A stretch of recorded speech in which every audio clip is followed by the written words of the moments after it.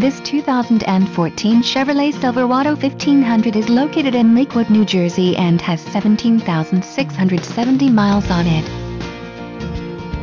This has a beautiful black exterior paint color which is complemented by a jet black interior color.